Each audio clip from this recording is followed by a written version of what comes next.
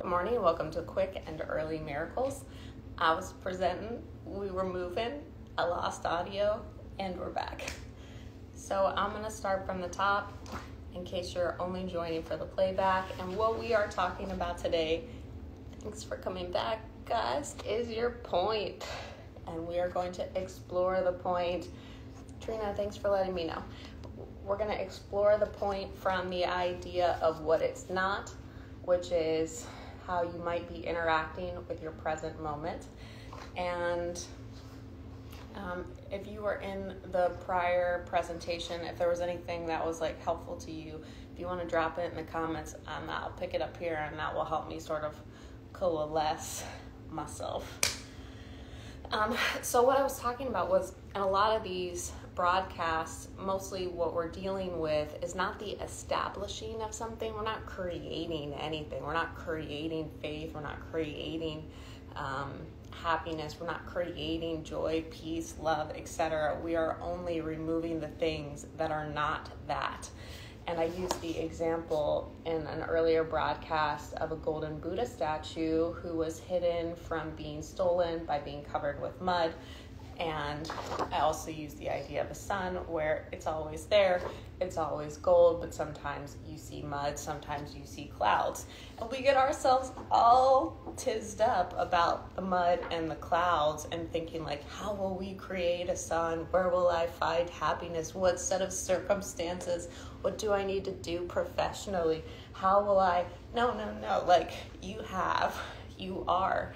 That is your default and what we're looking at in the series is one, the allowing of that awareness. And I've illustrated that through some kind of like, let's consider this. And we'll do a little bit more of that today.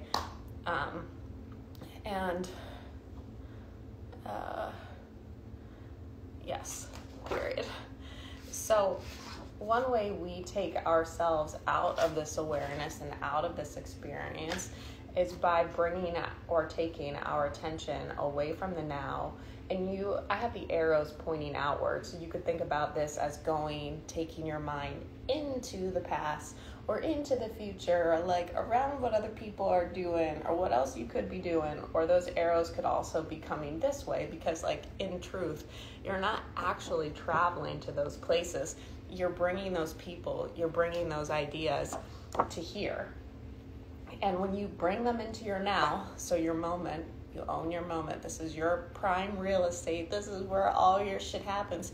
This is your Garden of Eden. Whatever you plant here grows.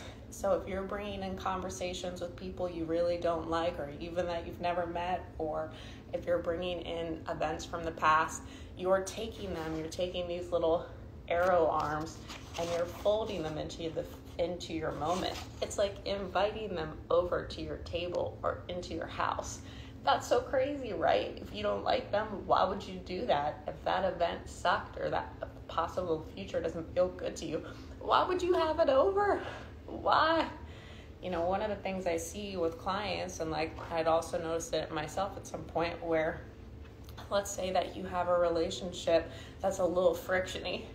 You have the encounter with the individual not that comfortable, you leave the encounter and you bring it with you. You take it into your moment. They're no longer physically in your present moment, but because you're thinking about them and you're anticipating what it will be like the next time you see them or how those motherfuckers did that again. Like, you bring them with you. They're not even there.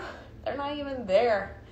And so often what obscures our sun, what hides our feeling of being golden, are these things that we bring into our present that we think we need to somehow control so that we feel this way. I was talking about one of the ways that we leave the moment is to try to figure out a set of circumstances that will make us happy later what am I supposed to be doing? What's my purpose? What who is the best partner? Well, you leave here where this is because you think that you won't have that later, but no matter where you are, this goes with you. You know? Um, thank you for that note, Trina. I was also talking about how this is true of faith. And I'm blessed to do this work. And like, if I told you what I had to do to sit up here like this, besides a lot of stretching at the hips and knees, like, you wouldn't even believe me. And one of the things, like, what part of where it's like I'm telling you this stuff and I've witnessed it within myself. And sometimes I just hear things. But I also feel or think that we're only, thanks, Dwayne, we are only expressions of states of consciousness. So when you tap into different um, states, you access what's available to them there. And an example of that would be they've done studies where they'll tell a child, pretend that you're Einstein, or tell an adult, and the adult's like, okay, or the child's like, okay, and then they take their test and they score higher than they usually would. Or if you're listening to autobiographies, the autobiography of Tesla, like I am right now, or if you read about Edison or different artists, they're like, it's not my idea, like it just came to me. So, with this work, what I think that I'm doing corresponds to like other teachers. And there's a teacher, a channel I like named Paul Selig, and I saw today on Instagram he's releasing a new book, and I scrolled through the quotes he had included from it. And it's all the same shit. Like we're all talking about the same stuff. And I think that's because this is what is being asked for by the collective. And my point with his is he's talking about the importance of faith. And if you are attempting to navigate your experience of life, if you're trying to generate feelings of safety through your mind, it's fucking impossible the more that this stuff moves. So if you've had a pretty consistent past, when you look into the future, you just take your little consistent path line, past line, and you draw it through the moment. And you toss it into the future, and you're like, okay, cool. But if this is always moving and everything else is always moving, it's really hard to find a ground because you can't really tell which way is up or what's what. And so this these concepts from my vantage point are incredibly useful as this landscape like the world changes because your center is inside. Your sense of peace, safety, calm, like continuity it is inside. And so with faith, I was explaining in earlier broadcast that a lot of what you think you're doing in thinking you're not. And what an illusion it is to even believe that you can understand the past. Good morning. So the past is behind you. You're like, well, look, that's done. Like, I could see it. This happened, this happened, this happened. What you don't necessarily recognize, at least readily, is that the events that you recall from the past aren't all of them. Sure, they seem that way to you. And yet, if we're all sitting in this room together and something happens, we're all seeing and recording different events. Not only that, but the meaning that you apply to them. So let's say that you hear something drop and then you see something over there. You would likely think, well, this happened and then that happened. So these two things, because of this, that. Similarly, when you're looking at events in your past, you'll draw lines between things and say, because of this, this and you'll make yourself fucking miserable about stuff that actually is not even related. You can't know. Nobody can know. The the complexity of events is mind blowing. Mind blowing. I had um I had a best friend in high school who died in a car accident with her boyfriend and it was after school. They were coming home after school. And you could say like going back to like trying to control things it's like well you know this event caused this event. Well was it that like all of these things you cannot know what what's what. And so much of our personal past will come into our future come into our present because we want to understand it so that we don't do the same shit in the future or the same shit doesn't do us. Isn't that wild? You can't. And so, where you actually can apply your attention in a thoughtful way, the garden, your Garden of Eden, where you actually can grow things, is littered. It's just got a bunch of junk in it. It's so silly. And yet, these illusions, because of their familiarity, because of the way you hear people talk about information, seem real. For example, um, I've got, you probably have seen, if you're in my world, books and books and books and books and books. For a long time, what I had been reading was how to accomplish this thing, how to do that. Very, like, all nonfiction. And some of that has stuff in it that is like you can make a really great argument for anything. And because we're storytelling, it's like you follow the author's story and you say, oh, yes, you're right. All of these things make that. I agree with you. I agree with the facts that you pulled together and the conclusion you made of the facts we both looked at, but there's so much more than that. And even in things more concrete like math, science, like that shit's always moving too. It's always expanding. You can have a paradigm shift that takes everything that you thought you knew about how stuff is. Everything, there's a quote I really like that's something around everything everybody was like 100% sure about. Like, it, it changes, it changes. So, what I'm telling you is that while we seem to exist on this like predictable data set where these things mean those things and this is that. There's a lot more variability there, which is to say, you really can't know, you can't use the past to predict the future. Yes, of course, there are patterns, there's harmony, there's rhythms, there's all of these things. If you're going back to the weather example, like if these things, then that. And yet, if we zoom out even further, it seems like attention is creative. And so we're still playing a role in creating through our observance. So it seems like we're observing a fact set. The fact set is independent from us, and yet through our attention, it is. Thanks so much for letting me know, Kevin. I lost audio in the last one. Does anybody else lose audio? Can you hear me? Anybody? Anybody?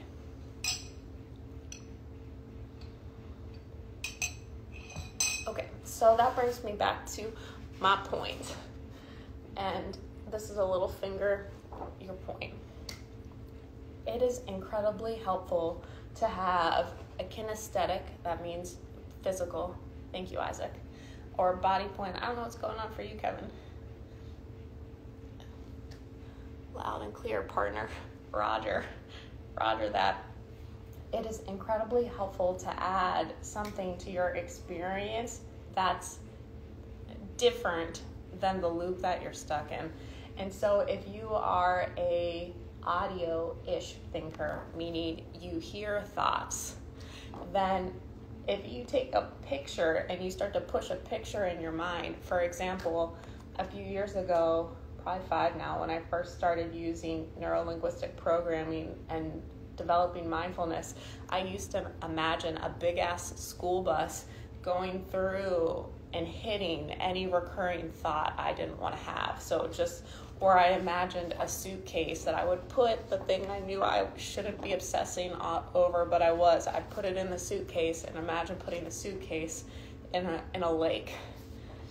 That's um, that's a neurolinguistic programming technique. There's a lot of stuff in that material. From my vantage point, that's very practical and actionable, like re- like relief right now and the relief right now sometimes doesn't fit what we think should be. And so we don't see it because it's like no change is supposed to be hard. This should be challenging. If it's easy is it worth it? And you don't see stuff that doesn't fit your everything has to be hard for it to be good model. That was like i can i can subscribe to that. I was that i went the long way here i think divinely. Nevertheless my point is here I'm suggesting adding a physical component to your mindfulness practice because it interrupts what's going on up here. So if you're thinking in images, if you're thinking in words, if you're hearing stuff and you use your hand, you use your body, you interrupt it in a new way. So I'm suggesting when you're in your moment, say, What's my point? What's my point? Or you could say, like, I also went through a phase of pressing my button. I was like, okay, oh, my I called it like this is like my my belly button, and I would touch my button to say like, okay, what's my intention here? Something that brings you to right now.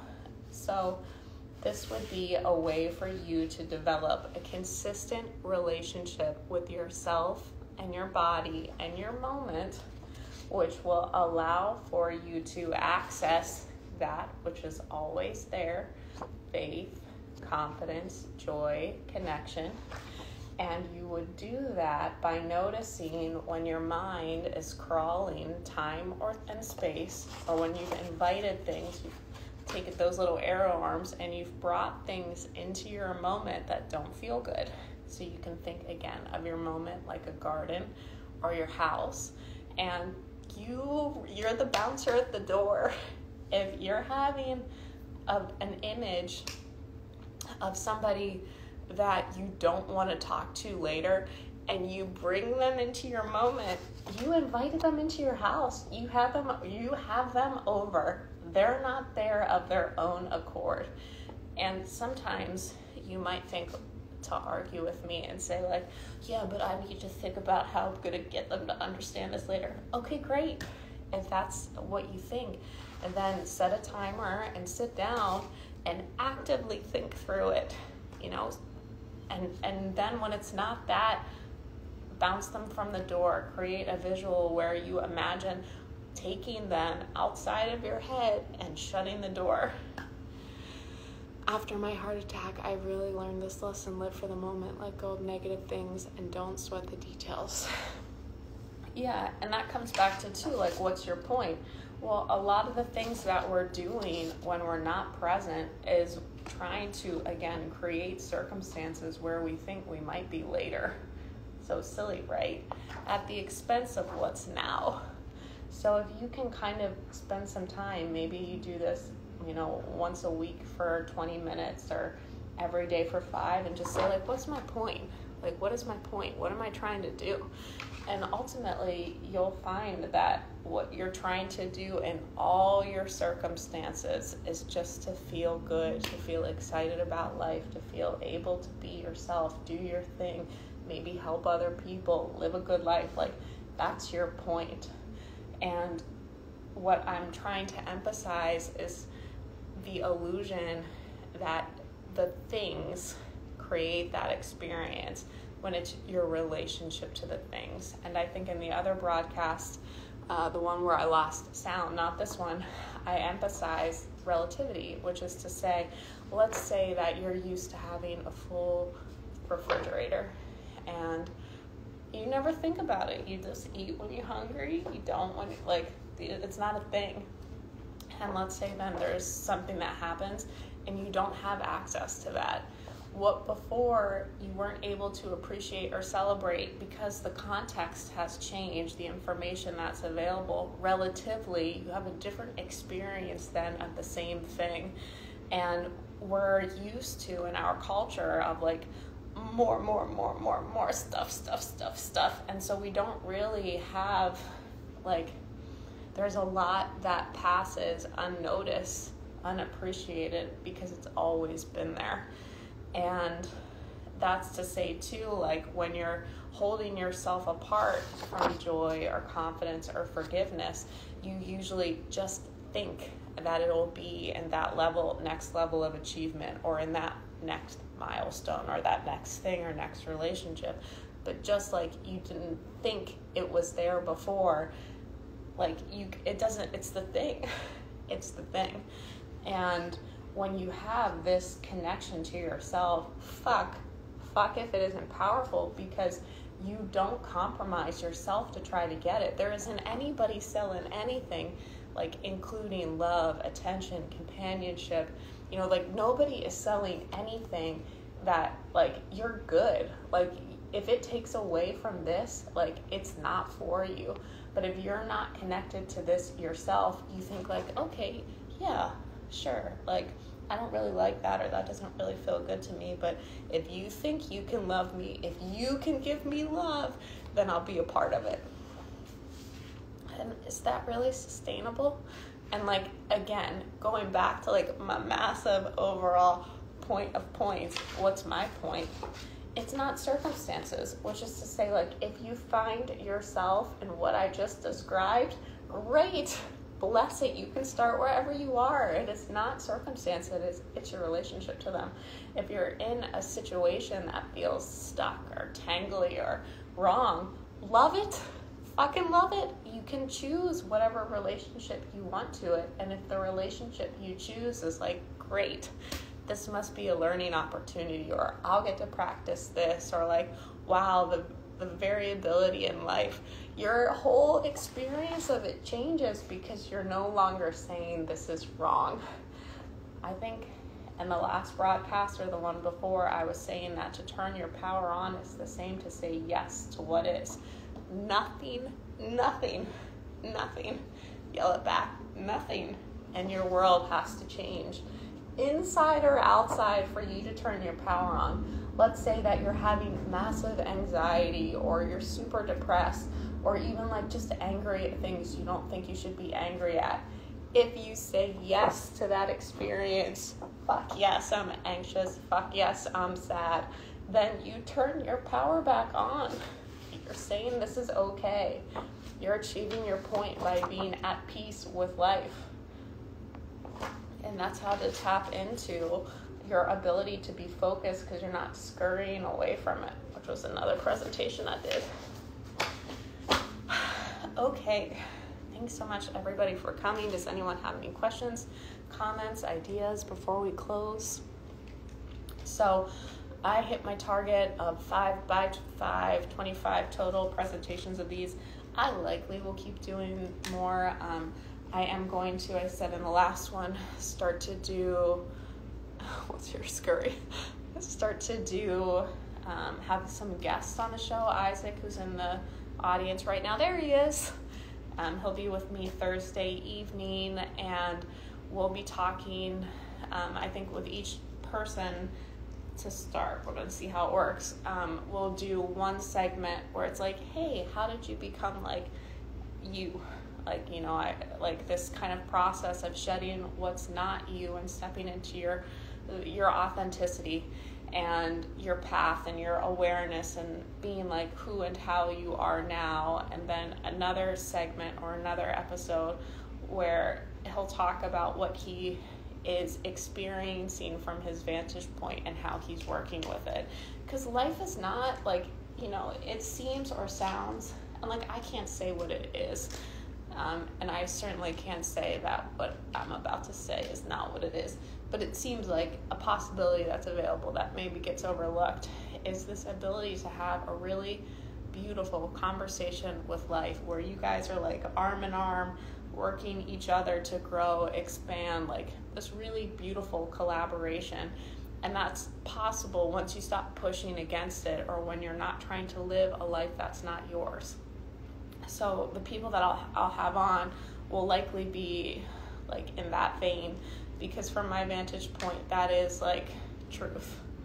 Like at least not false. Where there is there's more available interacting with life from that seat from my vantage point than the opposite. Because otherwise you're just in fear. So to me that's living in love. And i'm really excited um, i've been blessed to meet a lot of people over the years from my work um, and being out here on the gram and just like in the wild too, who are really, you know, interesting, unique, beautiful souls like we all are, I guess. So I don't know if that's really helpful to add, but I'm I'm just I'm really excited about the people that I'm blessed to interact with and hopeful, helpful, excited. You might like you might enjoy them as well. Okay, thanks everybody for coming. And if you were at the first presentation when I lost sound, I appreciate you rolling back to this one.